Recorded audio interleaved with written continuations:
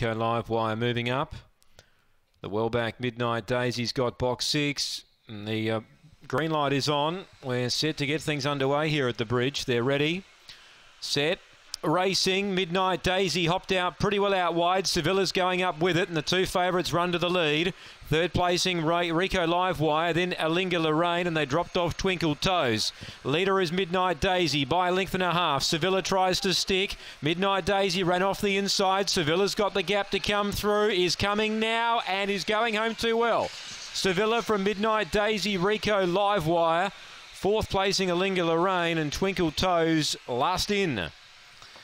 Well, she left the rail midnight Daisy, and it's probably cost her victory. Sevilla was uh, greeted with a beautiful run and was gradually building momentum and has run down Midnight Daisy to win the first. Ashley Griffiths, the winning trainer.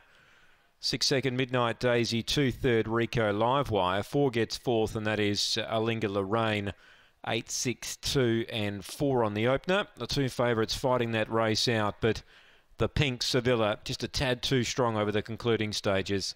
8624, there's no margins or times at this stage, race one Murray Bridge.